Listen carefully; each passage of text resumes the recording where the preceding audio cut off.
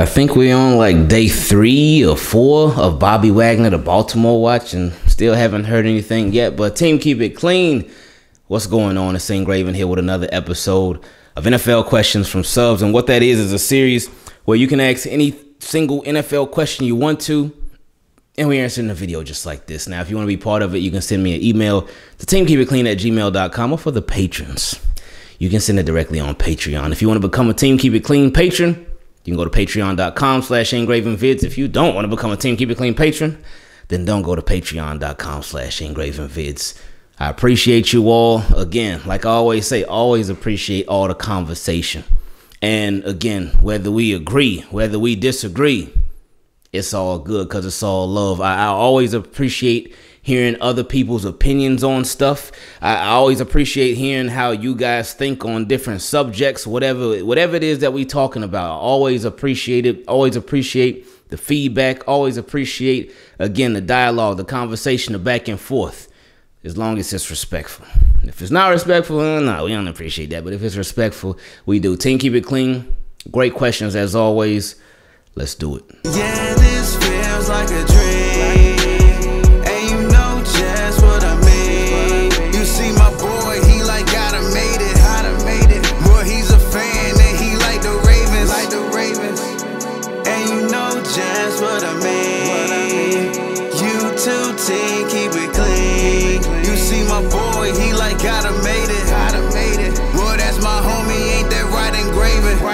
First question came from my boy Roger. He said, Hey, what's up, man? Been listening to you for a while now. I like the content. Keep up the good work. Hey, appreciate that, Raj. Thank you.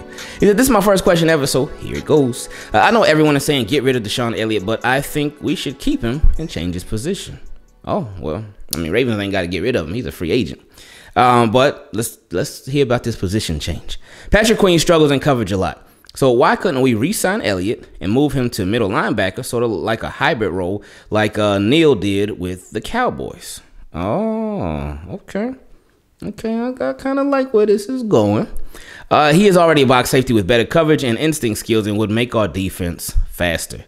Yes, he would. Um, if he was at that linebacker role, um, and and around the box, because obviously they got Marcus Williams um, to play deep, but you have DeShon Elliott around the box, and that's somebody who, you know, he ain't scared. Like he ain't scared of contact with anybody, and we need that, like more. Uh, I know they re-signed Tony Jefferson, and he'll probably have like sort of a Levine role, but maybe not quite. Um, maybe special teams or some defense and whatnot. But um, we'll see how he does uh, being back um, I know his coverage skills are not the best. Um, with Tony Jefferson speaking of, but um, I wonder if the Ravens, I wonder if they thought about it, like with DeShon Elliott. I wonder if they thought about, and obviously he he wouldn't be a starter. That's Marcus Williams. You don't pay the dude all that money and have him. You know what? You're sit on the bench. No.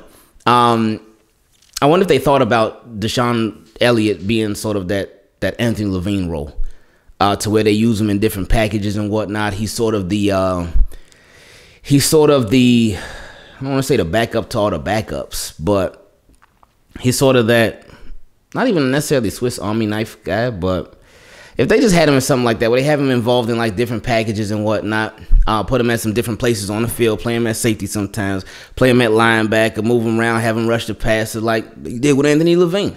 Uh, so I wonder if they would do that with him. Uh, but as far as this middle linebacker role, um, that would be something. I wouldn't be mad at that. I, I, really wouldn't, because again, he he can tackle. He's a good tackler, and again, very very physical and fast. He got some good speed to him too. He would add some speed to the linebacker position, and he would not be afraid to be physical uh, with those tight ends. Now, um, my only concern because I don't remember how he was in like man coverage. Cause I know some defense, sometimes they play zone, sometimes they play man. I don't know how he would how he is when it comes to like following. Like if you got to follow a tight end, if you got no, not follow, if you got to cover a tight end. I just I don't know why I cannot remember how he was with that. So that would be something uh, that we would need to uh, be mindful of, whether it's good or bad. Because I again I just don't remember. Um, he said he is already a box safety with better coverage and instinct skills and would make our defense faster. Everyone always talks about our lack of pass rush, but that's. He said, but that's because they're all old and slow. Houston, Campbell, Ford, McPhee, etc. We needed overall team speed, athleticism, and skill on defense. Just my thoughts. Hope you and your family have a good one. Appreciate that, Raj. Um, I wouldn't be mad if they did that. Uh, we still on Bobby Wagner watch, so we'll see what happens with him. But I wouldn't be mad if they did that. Just had him as a uh, a sort of um, just a, a, a crazy role guy, a guy with like different roles and whatnot, a guy that you could a sort of plug and play guy. Like, all right, DeShon, this way we need you at on this play. This way we need you at in this uh, in this defense. This way we need you at in, in this situation. Can you do it for us? he probably tell the Ravens no. Next question came from my guy saying, he said, Hey, Graven, it's been a long time. You got a question for me, but I got five questions. Five questions. Five questions. Okay, here we go. Number one, if we can afford Tyrann Mathieu or Bobby Wagner, should we go after him? Trade or trade our picks for him or Bobby Wagner? You ain't got to trade no picks, baby. They both free agents. So you ain't even got to worry about none of that. They are both free agents. So it's it's up to the Ravens. But I would say Bobby Wagner for sure because they already signed their safety. They got their safety of the future, and hopefully everything works out wonderfully. Um, because and it doesn't doesn't go how it went with the last safety. As long, as long as Marcus Williams ain't swinging on Chuck Clark, everything will be a okay. Uh, he said number two, J.C. Tretter is a need, or Tyrann Mathieu or Bobby Wagner is a need. Well, I would say uh, for the Ravens, yeah, I, am starting to really think about this Patrick Mekari thing, and it does seem like he may be what they do at the center position. Um, but depending on how the Ravens feel, then yeah, either J.C. Tretter or Bobby Wagner will be a need. Tyrann Mathieu would not be a need at all because again, they got Marcus Williams. Number three, how's your family? Oh, they they doing good. They doing really good. I appreciate that. Uh, number four, should we go after a left tackle that is young if God forbid Ronnie Stanley gets hurt again? Yes. Yes. Mm-hmm. Ravens have to prepare as if Ronnie Stanley is not coming back. And they also have to prepare as if Ronnie Stanley will go down and miss time because he has went down every single season in his career. I'm pretty sure he's missed some time every single year. And some seasons a lot more time than others. So stay ready so you ain't got to get ready. Uh, number five, this guy. When are you playing Madden on YouTube again? Uh, probably never. Um, no, because again, yeah, because if if for any y'all that don't know, that's how I actually started YouTube. I started YouTube uh, playing Madden, um, and then uh, we started talking about the Ravens, um, different stuff with the team and whatnot, and then uh, just fell in love with that. And after that, Madden just got to the point for me where recording it and making the videos on it, it, it just wasn't fun anymore. And, and, this worked out. Next question came from my boy Phil. He said, Hey, Graven, want to get your thoughts on this. Now, I know it's Lamar's decision not to have an agent, but if he did, do you think uh, he would get a nice sized contract by now and it would have been negotiated and signed? Um, no, I don't think so. I think that the, the dialogue or whatever the dialogue is or is not, um, we don't really know that. Eric DeCosta has said his stuff publicly, but Lamar hasn't said anything. And if he had an agent, then and his agent could put out stuff like the Ravens be putting out stuff, and the, his agent could put his own spin on things. He could leak stuff to reporters and whatnot, but he ain't got no agent, so everything is in house. So Lamar knows what's going on. Eric DeCosta and them, they know what's going on. We can only think of what could possibly be going on. But in my opinion, no, I don't think he would have. Even if he would have had an agent, I don't think he would have had a deal by now. Um, he said, My point is, do you think Lamar understands if he lets his contract run out with his fifth year option, only worth 23 mil, and does not come to an agreement before free agency in 2023, they would tag him? They could. Uh, that is a huge possibility, and it's been talked about a lot as far as them tagging him, then tagging him again.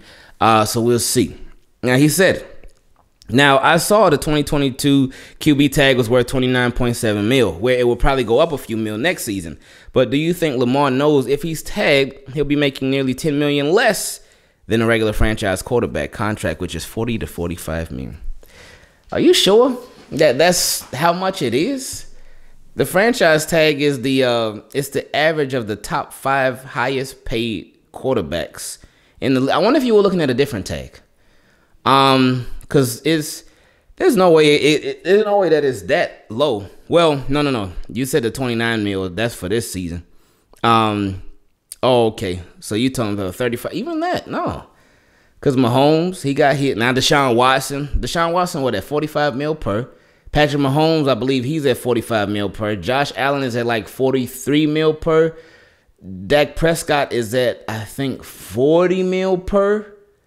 So even whoever the next highest paid quarterback, which oh Aaron Rodgers, Aaron Rodgers is at 50. He's at 50. So no, Lamar's straight. He's straight. with the, with the franchise tag, yeah, it's not guaranteed. I mean, no, it is guaranteed. It's guaranteed for that one year and that one year only. Um, but yeah, he be straight, man. He wouldn't be making no ten mil less than the average. No, he would be making uh, a good amount of money. Whatever the average is of the 50 mil, 45, 45, 43, and 40. And maybe if I missed somebody, maybe I did, but he would be straight uh, for that year. But again, it doesn't provide the long term uh, stability uh, but I'm sure if Lamar was like, uh, I ain't feeling the Ravens so right now, I just I don't want to commit to them right now, then I'm sure he would be a okay uh, with the franchise tag. Next question came from my boy Daddy Gaming. He said, Hey, Raven, I hope you're well, bro. I got a question for you. How come you think the Ravens will draft a wide receiver in the first three rounds? I see so many good wide receiver prospects, but with our current wide receiver room, would they really go out and draft another guy? Hope to hear your thoughts on this stuff. Take it easy. Appreciate it, man. Um, now, the only way that I feel like this could change, I don't feel like it will, but the only way that I feel like this could change was if the Ravens went and snatched up a superstar wide receiver, or even if it wasn't a superstar wide receiver, if they got a Marcus Williams type of wide receiver on offense. Because the and what I mean when I say that a Marcus Williams type of receiver, obviously not a receiver that plays corner or defensive back, um, but Marcus Williams, he he's a good safety. Is he a great safety? No, he's a good safety though, and he has the potential to be great. And he's up and coming, and he's not old and washed up and he's really entering his prime. And he shows you that he can really play in this league. And he's really established a name for himself in this league. Is he a household name right now? No, he's not. Not yet. But he has that potential to be. And as, as long as he don't swing on Chuck, then everything will be okay. But that's the, this that's the type of guy that I will want the Ravens to get. But well, if if they don't do that, if they don't trade or sign somebody who's like that, then this still stands. But that's the only thing that will change them drafting and receiving the first three rounds. Um, Miles Boykin, unfortunately, I, I don't think he's going to be with the Ravens uh, this year. I, I don't. Um, and after they, they are clearly invested in Hollywood. Um, they are clearly invested in Rashod Bateman. Um, but after that, they don't have any clear investments. They got potentials. They got some potential guys. You see potential with James Proche, but Ravens, they ain't enjoy, they ain't on, they ain't on no James Proche like that. Again, and I, I hate to keep bringing it up, but we got to remind people like, hey, this dude, despite it being a beatdown loss, he caught seven passes for 76 yards versus the Bengals. And it's like, oh wow, okay. Or what was he, a fifth or sixth round pick? I forgot what round he got drafted in, but they, they could be like, oh man, James Proche caught all those passes for all those yards. Wow, okay, we lost the game, but you know what, man, he he showed us some stuff. What are we gonna do with him next game? Ah, inactive. Then he was inactive again. They're not invested in him. And I know a lot of fans like say, "Oh, James Proche, James Proche," and I'm like, "Yeah, James Proche. We know that boy can catch. He can catch." But Ravens, they don't look at him like that. Ravens don't care about no James Proche, man. I hate to say it like that, but it's real. They've, they've shown you that through their actions. They don't care about him like that. We look at Tylan. Tylan Wallace is tough he was a rookie last year, and then um, on that fake punt, he got hurt. He was in there for a couple plays, but he had a whole lot in front of him too. But being a fourth round pick, it's scary. Being a fourth round pick at wide receiver for the Ravens, that's scary stuff right there. That's scary stuff. Devin Duvernay.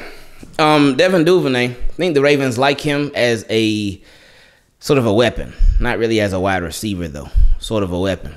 Um, and they, they they don't even play him to his strengths. I mean, that's a, that's a big issue with just how the Ravens play a lot of their wide receivers. They don't play them to their strengths. They don't put them in positions to where the, the receivers can take advantages of their skill sets, and that that's an issue in itself. Um, but again, if the Ravens don't trade for somebody or sign somebody who is again the Marcus Williams on offense, um, then yeah, first three rounds for sure, because this will be them. Um, and I think it would be like a, a, a big guy, big guy. I know Bateman like six. What baby, like six one, six foot six one. Um, but a big guy with some good speed. So I think a six three, six four guy, but somebody who's like that in college. Now I know I keep hearing, oh yeah, this this draft class is loaded with talented wide receiver. Okay. All right, cool. You got Drizzy Drake, Drake London. Okay, cool. Cause he he a little shifty. He got some like underrated speed for a big man now. Like he reminded me, um, he reminds me of uh Antoine Wesley. Um, to where I remember when the Ravens first signed him as an under was it Antoine Wesley? No, yeah, Antoine Wesley. I think that's the one who went to the Cardinals, right?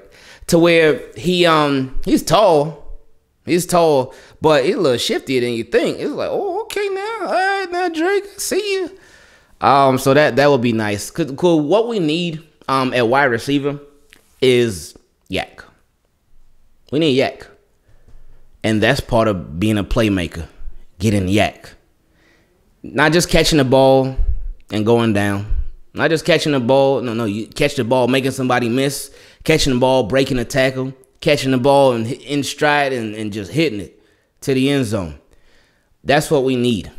When I talk about playmaking, it's it's all of the above. Ravens need that in a major way because that we keep talking about everybody making everybody else's job that much easier. When it comes to offense, if they if we like got more YAC, because that's something that the Ravens, oh my goodness, they've been struggling in YAC for for a long time, a very long time. Cause it's like Ravens uh, with a lot of their passes. It's even on if, if, it's a deep pass, then that deep pass once it's caught, it's either a touchdown. There's not much YAC involved. When do we see that stuff? When do we see it? When do we see a short pass and it's oh they hit it. Oh, they went crazy with it. When do we see a deep, like again, for a deep pass, when it's caught, it's usually like, all right, it's caught in the end zone. and that's not a bad thing for that, but the, the YAC has been missing for a long time, like consistently. It's here and there, but it's been missing overall from Ravens offense for a while. So they need some real yards after the catch guys because it's it's been a problem. So that's that's what I would be looking for in a wide receiver uh, for the Ravens. Um, somebody that can add to that. Because again, Bateman, you, you you see it there. You see it there. Hollywood, you see it there. You see it there. But we just need more. Need a lot more. So and Mandrews, like I remember what was it a game last year where Mandrews was like dragging all the Browns like down the field when he caught up he caught up or was it the Chiefs? Or was it both? Or was it the Colts? I don't know. Man, it was one of one of them three teams, maybe two of those three teams, or maybe all three.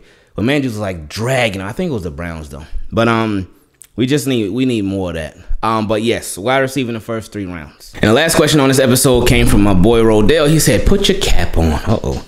Good evening, Miss Ingraven. I'm not here to bug you today, but instead assign you a mission. If you accept this mission, keep reading. If not, disregard and go to the next subscriber's question. Okay.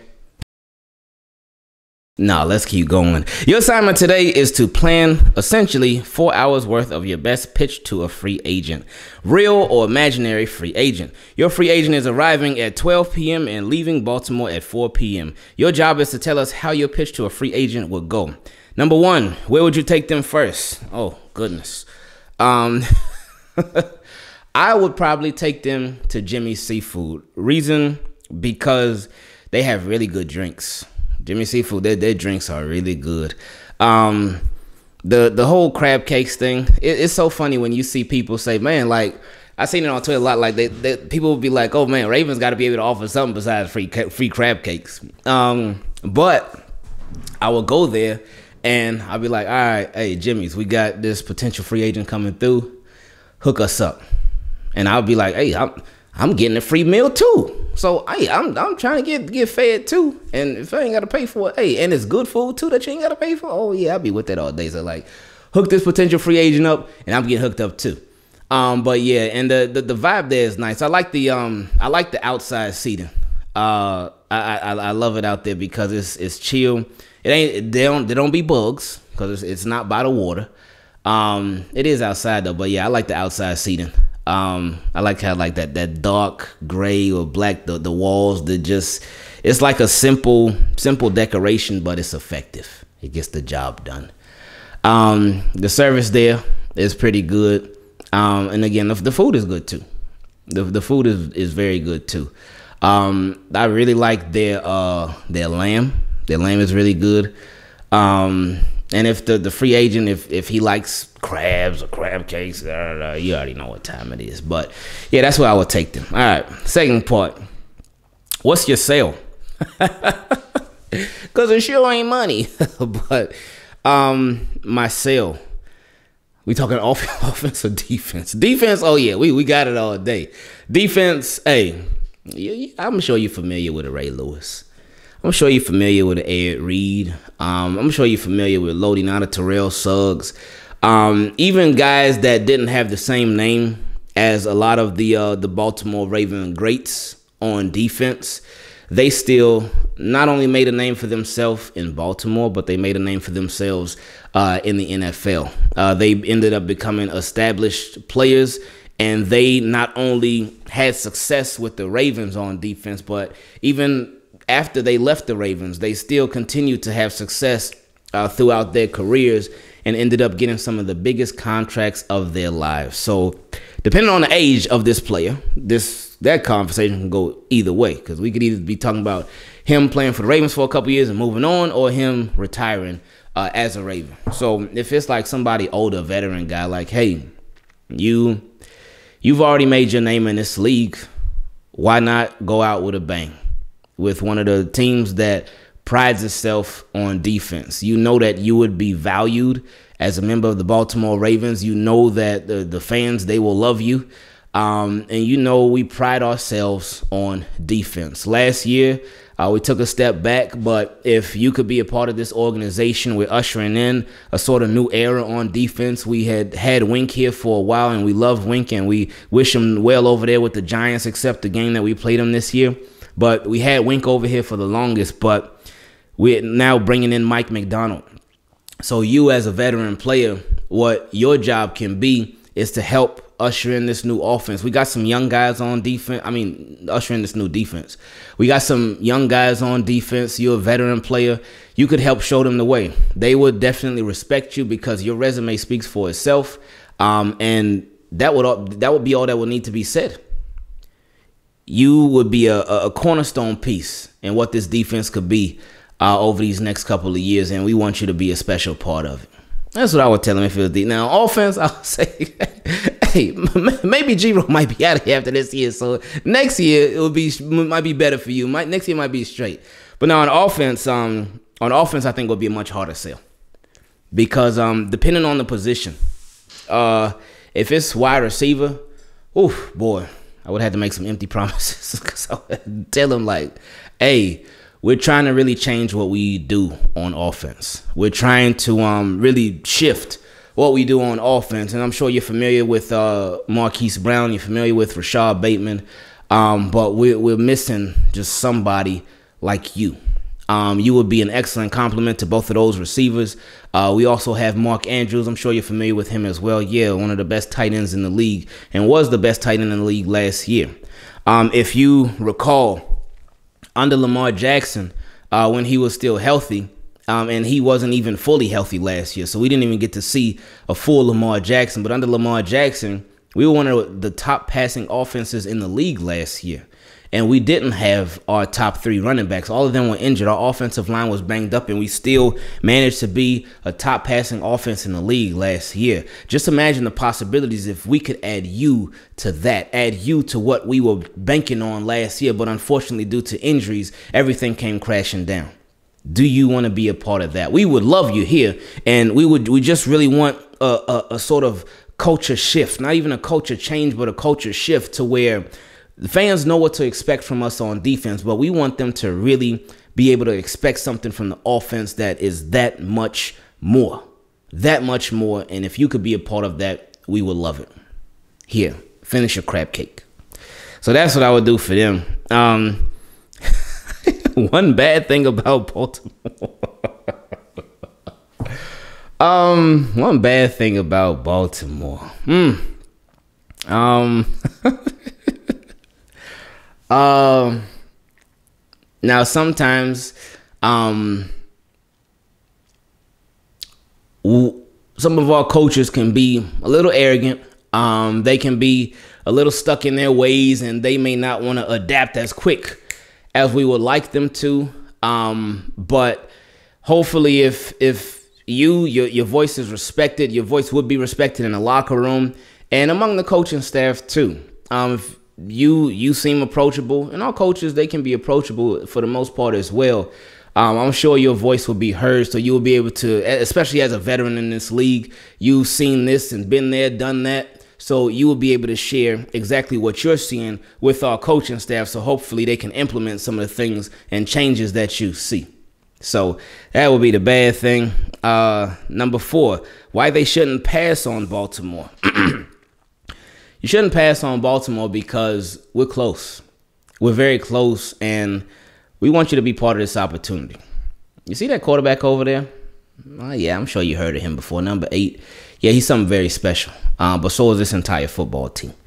And if you want to be part of something special, uh, we want you to be part of it, and we want you to help us get over that hump because we're, we're close. We're, we're right there, and we've been right there for the past couple years, but we just seem to be missing something. And you could be a part of that of what we're missing. Uh, and he said number five, etc. So I guess that's it. Shout out to.